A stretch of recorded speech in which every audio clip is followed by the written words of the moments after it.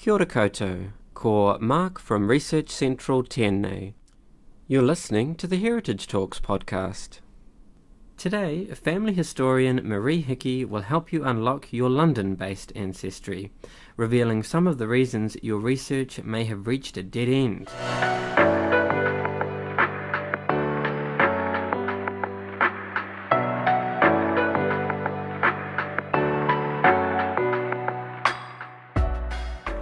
Starting off with know your boundaries, okay? So up until 1889, you had the City of London, which is the square mile, um, and it's still colloquially known as the square mile. It had autonomous authority, and that authority extended right up until about 1965. It still has its own police force. Um, and it is in charge of its own sort of ceremonial events, like you have the Lord Mayor's show, etc. So this is what sort of made up. So in uh, 1888, uh, a Parliamentary Act was passed, and the County of London came into being. So it hadn't existed prior to 1888. In 1900, they split it up into 28 different boroughs, which are shown here. Okay, so you've got Wandsworth, Lewisham, which was in Kent, Greenwich, Woolwich, they were Kent, Deptford, and all round here. And then in here, you've got the City of London, the square mile. Okay? So following on, in nine, nine, you can find this on the internet, by the way. Um, in 1965, they decided to change it again. So the 28 that we've just looked at, they are what people think of as inner London these days. So that 28 um, became 12 boroughs, but they were larger, covered larger areas and there were another five boroughs added, which included the City of London. The City of London hadn't been included up until then. So you've got Barnet, Enfield, Harrow, Hillingdon, etc., Bexley, and that. And these, the, as you can see, these are the different counties. That's what it was, and this big area now is what it is. So, do you see what I mean by you need to sort of know your boundaries? Part of the reasoning for uh, needing to know those boundaries is because your records are going to be scattered. Okay, so you really do need to know where to look. Okay, so this is the City of London. It had over 100 parishes. Okay, so this has come out of Phillimore's Atlas and Index of Parish Registers. These maps have now been excuse me, digitised and put onto Ancestry so you can view them there if you don't have the Atlas and Index book. We do have the Atlas and Index book here in the library, but you're not allowed to photocopy these parish maps because they're covered by copyright, okay? And this is Middlesex, just so you know. So you've got um, Clerkenwell, I think that's Hackney or something, and that, and then you've got the City of London just down here. But they're quite, it's quite handy because you can see um, you've got Tottenham and, and Hackney here. But if you want a parish this side, it's hinting you need to look at the map for Essex. And if you've got somewhere down here, um, by the Isle of Dogs and that, which is here, uh, you're looking at Kent, and down here you're looking at Surrey, you're looking at Buckinghamshire over here and that's these, you know, maps are going to be your friend. Okay. Uh, I got this off a website called Mapco, and what this is is showing the boundaries of the parishes, which I thought was quite useful because sometimes you might have somebody and you think they're in a particular parish and can't find them. Well, it could be that another parish um, governs that area, and you can um, make it larger so you can actually see the streets that it sort of governs. The other thing is, are you actually looking for the right religion? We all automatically go to Church of England, but there are other religions around now as there were then. The thing being, um, apart from Jews and Quakers, all other nonconformists weren't recognised. So if the marriage didn't take place in a Church of England church, it wasn't considered legal. So you may be, but it doesn't mean to say they didn't get married in the church of their own faith but they had to be married in the Church of England for it to be legal. Also, a lot of the nonconformists didn't have their own burial ground, so you may find them buried in a Church of England burial ground. Um, nonconformists uh, sort of weren't recognised until the uh, law change in about uh, 1st of July 9, 1837 when Victoria introduced the um, civil registration. But in 1940, the non-parochial, sorry, 1840, I got the wrong century.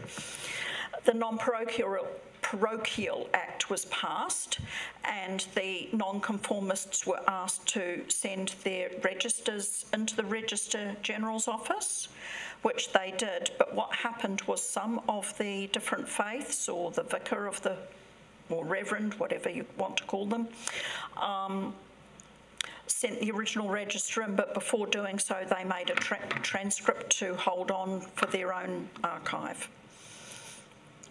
So the original registers, excuse me, uh, were handed in and they form the uh, series RG4 to RG8, and those are held at the National Archives at Kew, but some of them have been digitised, and we'll have a wee look at those. So, uh, this is Dr. Williams' library, and you may not um, be aware of it, but one of the things with uh, Dr. Williams' library was that for a small fee, a nonconformist or even a, somebody from the Church of England could go along and have a birth registered with them. And it was to avoid the necessity of having the child baptised or christened in the Anglican Church. This met with variable success, but up to 49,000 births were registered with them. It was to uh, be limited to a 12 mile uh, circumference uh, of central London. However, it is known that there are entries for people who lived further out than that. And the registers for uh, Dr. that were at Dr. Williams are, as we said, at National Archives at Kew, and they're in the class RG5, but they are indexed in RG4. So this is just an example of a register from Dr. Williams' uh, library and that's on the website The Genealogist, which is available to you to use free of charge at any Auckland Council library. Okay. Another um, nonconformist group is the Quakers, Society of Friends, and they have a library up in Euston Road in London. And again, this is one of their registers, but this time that's on Find My Past. Okay, so as you can see, you've got to sort of go between your different subscription websites to find things. Uh, another one of the nonconformists that you've probably heard of are, are the uh, Huguenots, who were French uh, refugees. They were the Protestants, and they, they left France around about 1685 after the revocation of the Edict of Nantes uh, because they were being persecuted by the population, uh, the uh, predominant Catholic population. And they settled sort of around Spitalfields and, and that sort of area is, is, known for being predominantly settled by the uh, Huguenots. We do have the Quarto series uh, surname index at the Research Centre, and I think we have the full Quarto series of the Huguenot series also in the Research Centre, so you can locate that using the library's catalogue.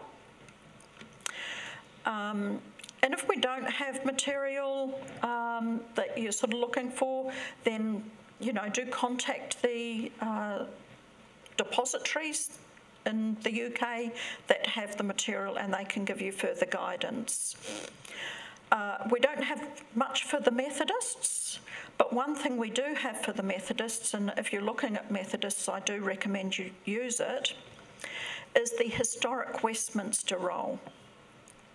And this is a list of signatories of um, people who gave a guinea.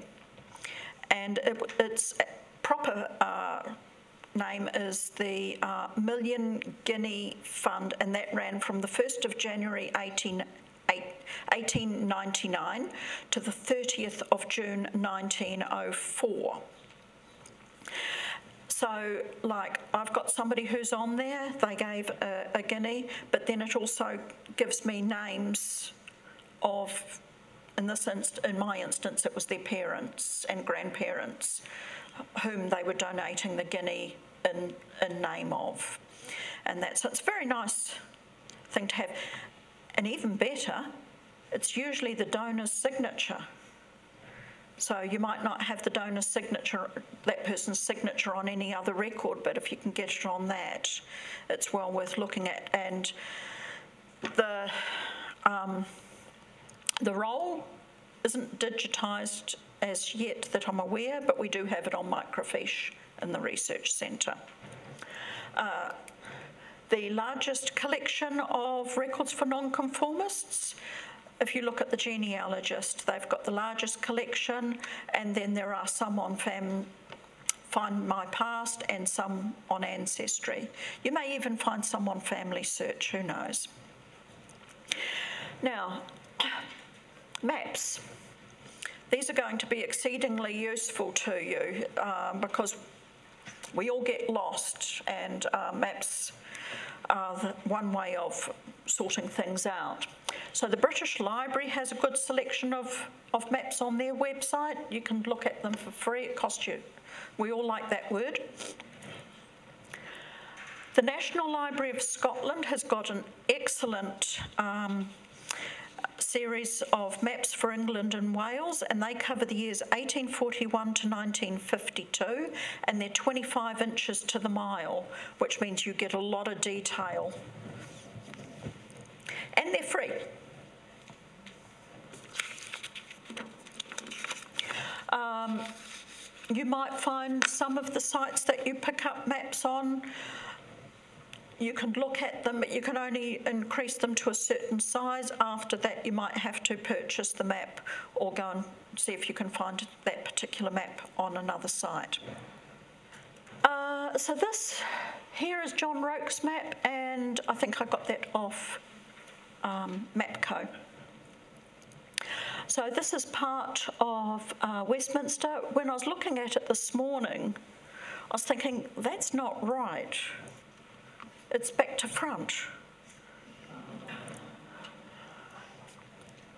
But as you can see, I mean, if anybody's been to London, you can see all these sort of how many sort of areas here where you've got green areas uh, uh and that and how built up it is these days. In about 1898, a series of maps was drawn up, and it was to indicate the financial circumstances of the population for the inner London area. And they were, they're colour coded. So um, black is really terrible. Okay, they're, they're, that's where all your bad, bad people are. It's Booth's maps Booth's poverty maps, okay? And what he did was he walked around inner London with a policeman, different policemen at different places, and he drew these maps. He colour coded them for financial situation of the population. And the maps and most of the um, notebooks have been digitised and they're on this website up here. You can view it for free, but not all notebooks have been done. So uh, there is a note there if the notebook you want hasn't been done to contact them. So if it's black, it's really bad. If it's blue, it's a bit better, but not much. So um, from memory, I think the yellow was the best and your pink. So the reason why, only reason why I chose this particular area, um, which strangely enough does seem to be a bit of Westminster because you've got St Margaret's up here, is because it showed a variety of different types of uh, finances for the population in that area at the time. See, like Pimlico down here, we've got lots of pink and yellow, so, you know, they're people who are reasonably well off uh, and that. And this is just an example of one of the notebooks, but if we can, okay. Um, so laundry yard, which um, it's saying it's narrow, neglected by occupiers, owners, and vestry. The rubbish is a disgrace. It looks like pined children, fat women, always had a bad name, not so bad as it used to be, but if any black anywhere here, so that means it's a, an area he's going to colour in black. One of the lowest places in Westminster, dark blue, to dark blue barred by St Peter Street. Yeah. Um, this, this is another map that's uh, just to show you the variety of maps that you can get. Again, this is off Mapco, and uh, this is just a map uh, showing the houses that were destroyed and damaged by the fire in 1748. So it's not the Great Fire of London, it's another fire later on. Uh, the only reason why I chose this was because uh, it was done in 1814. So you can see, even in 1814, this is the East End, Whitechapel area, it's still sort of fairly rural. And we can see with uh, this bit in Westminster, you don't have as much sort of green space as you once had. And of course now, if you go there, it, it's a load of concrete. So the other thing you're going to be up against is the fact that street names change. So there's a, a couple of things here. To be quite honest, I just put in uh, London street name changes and that might very well bring it up for you. So there is another set for the Hunt House that actually goes prior to 1929. It's, it starts in the 18 hundreds, and for some reason I have not put the dates down, so I can only apologise to you for that. In England, they have what they call local studies libraries, and these are usually attached to the library, so it's sort of like a, a local history library. I suppose in some ways you could say, it, in some instances, it's sort of like a combination of special collections here and the research centre are not necessarily as big. In some instances, they can be quite small. But there may be material held at these local studies libraries that you won't find elsewhere. That for some reason they haven't been deposited at a big um, archive. So if you go on to genuki.org.uk, um, and again, I, if you want to make it easier, just Google local studies libraries UK and you should get something. But they have a listing on there of uh, local studies libraries. And this is just a selection of some of the websites of some of the local studies library. This is one for Hillingdon out in West Middlesex. Greenwich, which uh, was Kent. It's a nice comfy chairs for you to go to sleep on. Uh, the Minet Library, which deals with Lambeth. And you can see there's all sorts of things that uh, they have, people, places, subjects, maps, photos, cemeteries. Southwark Local Studies Library, this is actually at the back of the um, library at Borough. And that they've got a, a, very nice room with all sorts of goodies uh, out on the um, open shelves, but there's also lots of stuff out the back as well. And, that, and you'll find that with uh, anything. And another place to look if you uh, haven't done so is Cyndi's list, C Y N D I S uh, list. And she does things for all sorts of different countries. So if you've not looked at her before, you know, she's done things for New Zealand, Australia, uh, um, all sorts. So it's, it's quite uh, um, a good website to look at. So apart from your local studies, there's three sort of biggish archive uh, places that you might be wanting to look at. So the Guildhall Library, which this is a quite a nice photo here, that's the library there. And uh, you may have seen some things off the Guildhall, all their beautiful gold and stuff when somebody's going to see somebody. But uh, they look after a lot of the material to do with uh, some of the guilds of London and, and that. However, some of the parish registers and that that they used to hold have now been transferred to London Metropolitan Archives. They have a wonderful selection of directories for the Greater London area and that. So if you're looking for anything in the City of London, then the Guildhall Library is a good place to look at their catalogue. And that's just a bit of the um, website. So you can see that uh, they have, for family history, they've got apprenticeship records, Boyd's marriage index, census material, occupations, directories, criminals, the London Gazette, so a, a wide ranging selection. If, like me, you've got people in the City of Westminster, you then need to look at Westminster City Archives. So this is the building in St Anne Street. You go and knock on the, or press the bell these days, and you get let in. And again, on their website, they'll tell you about accessing resources remotely. There's information sheets, education and business, finding your ancestors, etc. So Westminster City is the place for you if you've got people down there. Okay.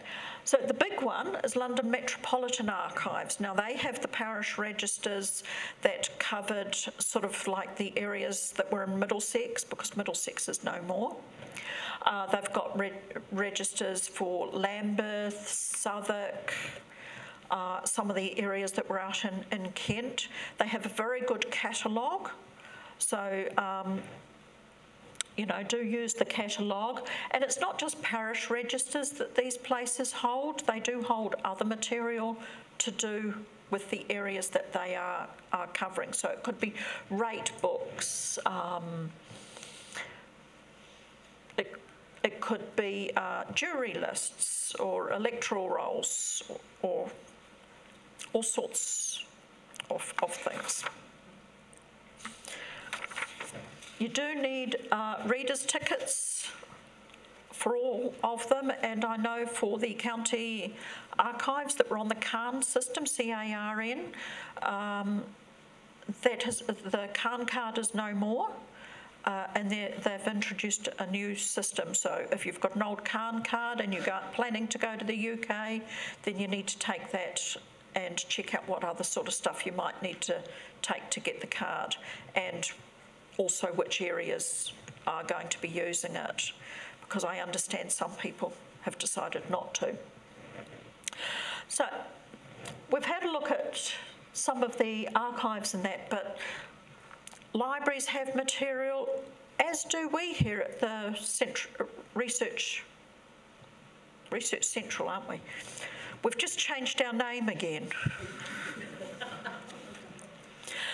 So we've got a number of CDs of uh, different types of material. So it could be transcripts or uh, the photographed images of parish registers.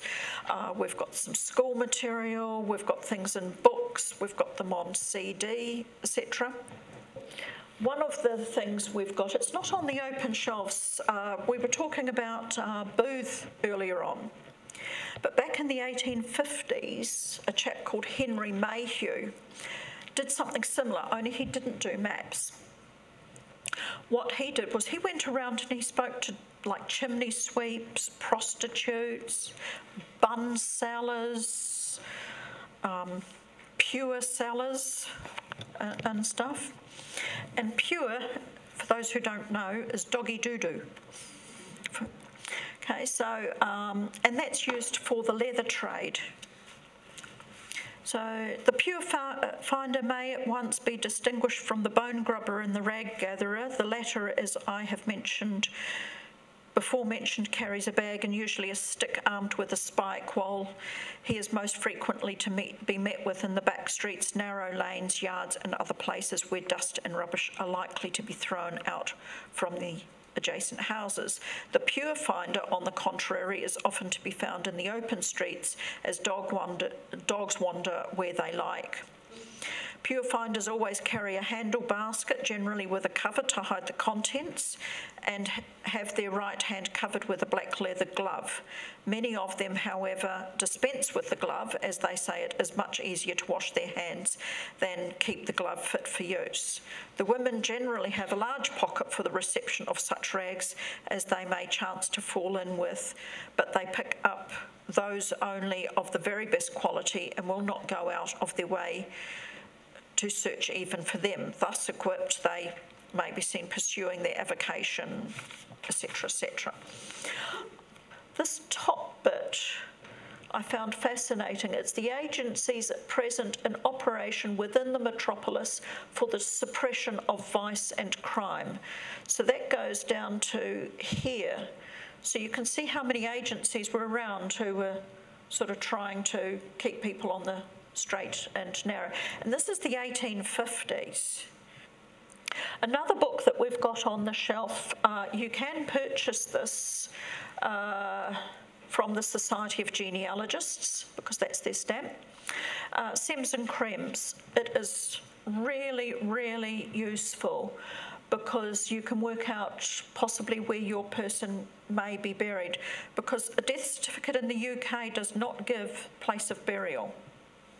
Okay? Deceased online might help, but um, you never know. And so it, it gives the cemetery, um, I'm hoping those phone numbers are, are reasonably correct because this is the most up-to-date version and then it gives the address etc uh, the date when the registers begin and whether or not you are able to go and do the searching yourself or whether you need to pay them to do it. Okay, so the online sources that you might look at. As we said earlier, um, the genealogist has a large collection of uh, nonconformist registers.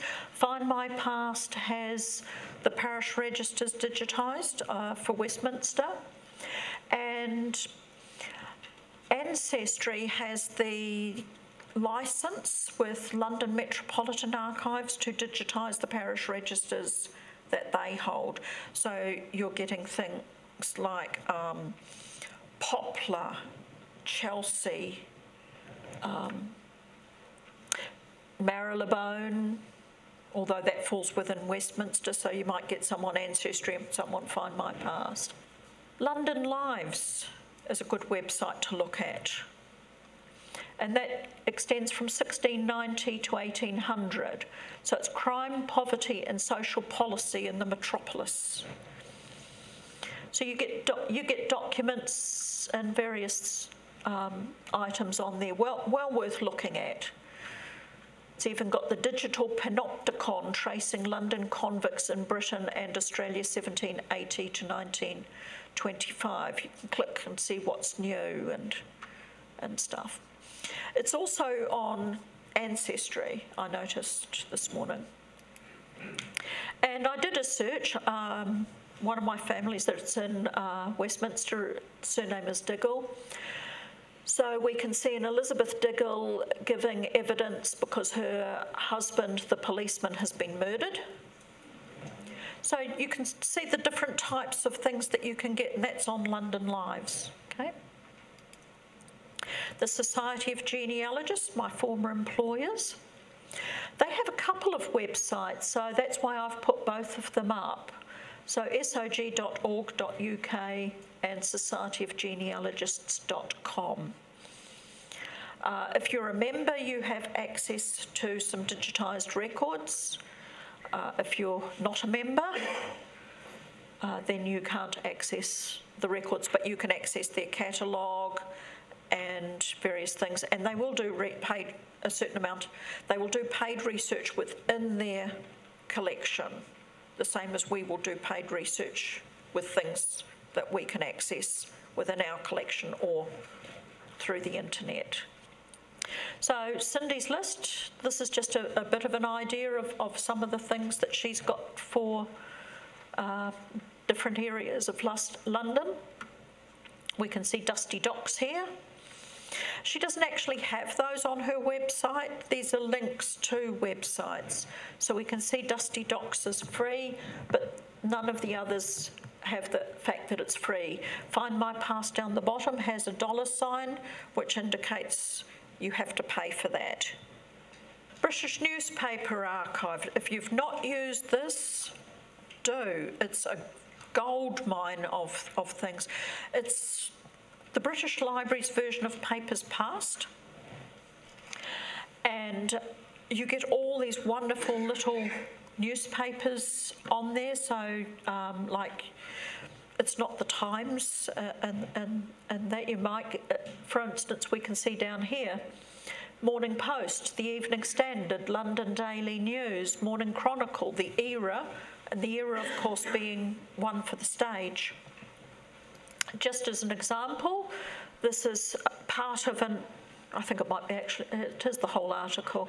One of my relatives got run over by a, tree, he fell off the back of the train that he was um, con- conductor on or something. He was the guard, that's what it was.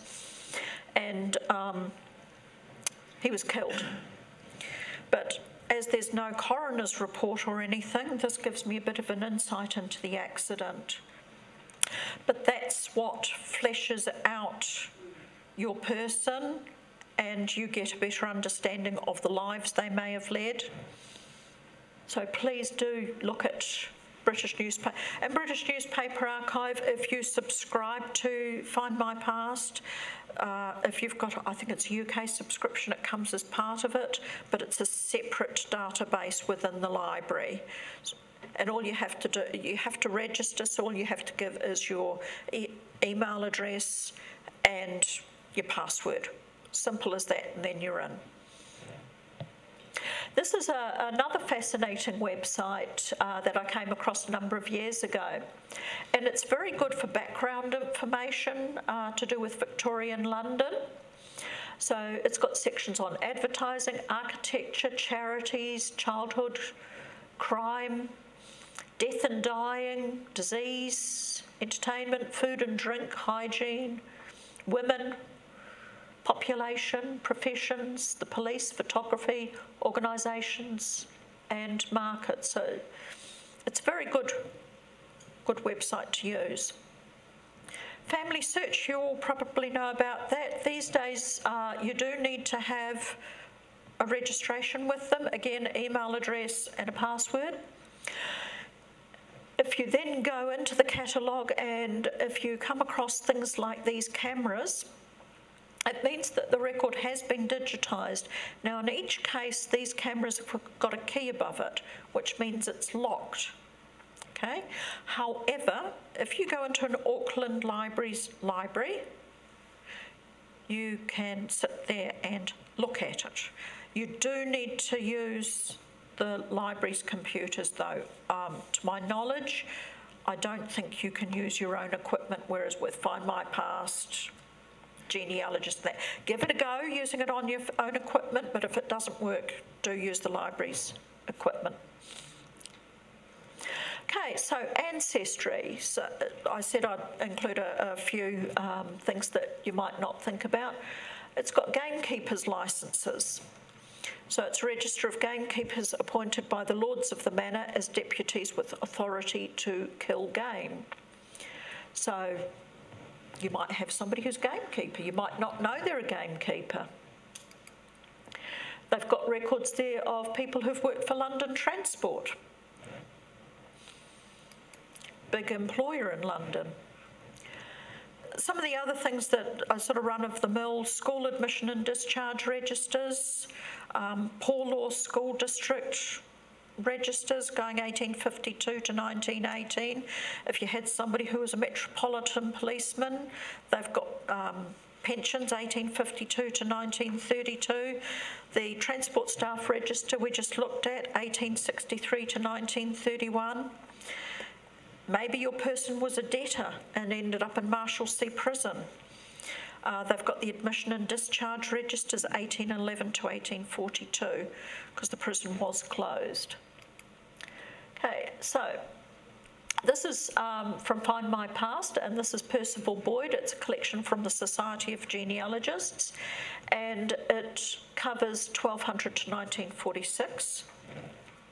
Uh, it sort of started with um, the inner London area, but it has, uh, with when the family units were done, um, which forms the latter part of it, it was people who had a strong interest in that area. So apparently, there's things where it could be somebody in Canada. Uh, and, and stuff, but I would stick with the, the London bit. And there's a big explanation about them on Find My Past on the uh, page for it. You're going to get electoral records on both Find My Past and Ancestry, and I think also on the genealogist. The electoral rolls aren't like what we use. So um, the fact that they have been digitised makes it so much easier to research because it's done in an electoral district and then they're divided up into wards and within that ward it's streets. So you actually really, if you're looking at the books, you need to know where they are or you're just having to turn over page after page looking for the family name you're looking for. Rate books. So this is the Poor Law rate book, and this is on Find My Past again.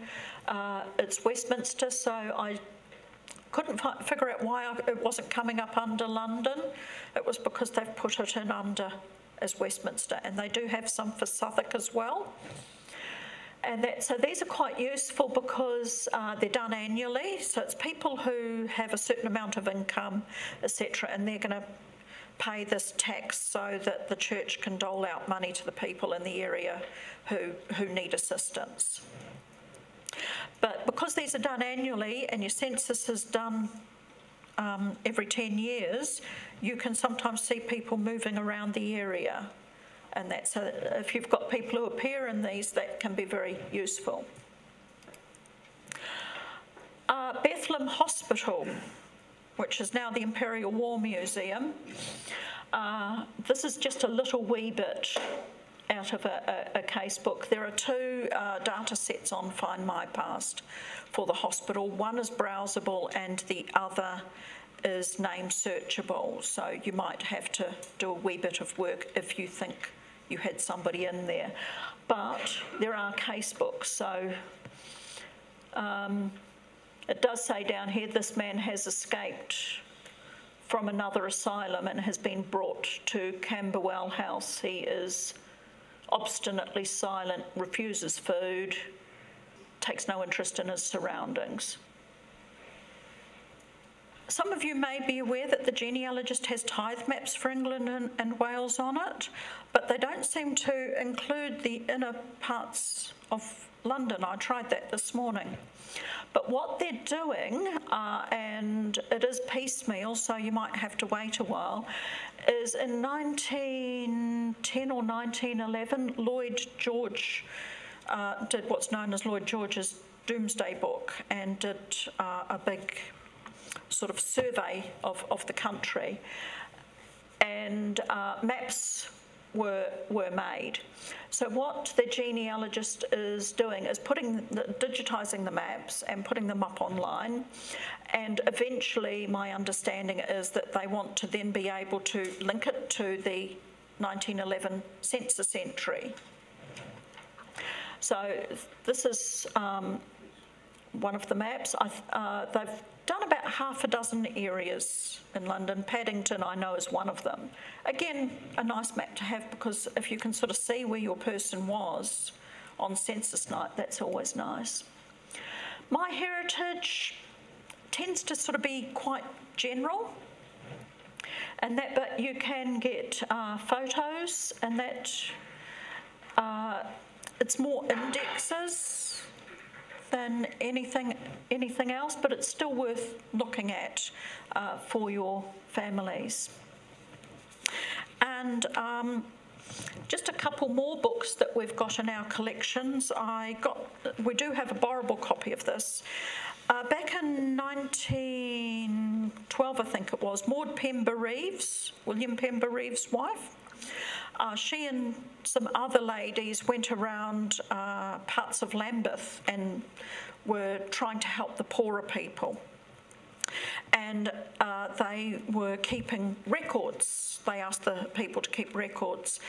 And this work, round about a pound a week, is absolutely fascinating insight if you've got poorer people who were in that sort of area. Uh, it covers things like uh, food, clothing, their budget, how they sort of spent the money, the fact that the husband comes home dirty from work and doesn't take his shoes off, he goes to bed and he's black from head to toe, what the, how the mother spent the day, um, things about the children, thrift of the people, fascinating read.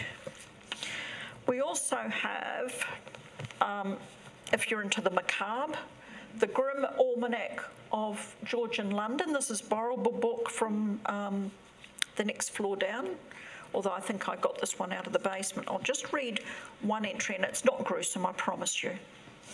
So what they do is it's month by month, but for each month it's several years. So this is an entry for the 6th of January in 1727. In early January of this year, the lunatic king was first admitted to St Giles Workhouse. This poor man became convinced that he was a king and immediately appointed another lunatic as his prime minister, personal barber, and servant. Sadly, however, one day the Prime Minister got so hungry he ate his dinner before the lunatic king had come in, which made the king so angry that he attacked the Prime Minister on sight. The exiled Prime Minister shortly afterwards died of fever, and the King, broken hearted, refused to eat. He died of starvation a few weeks later.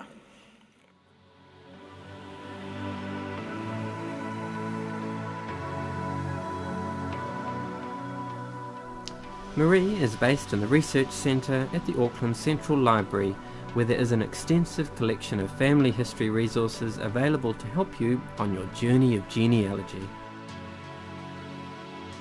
If this is your first time listening, then thanks for tuning in. The Heritage Talks podcast is produced regularly for your education and enjoyment.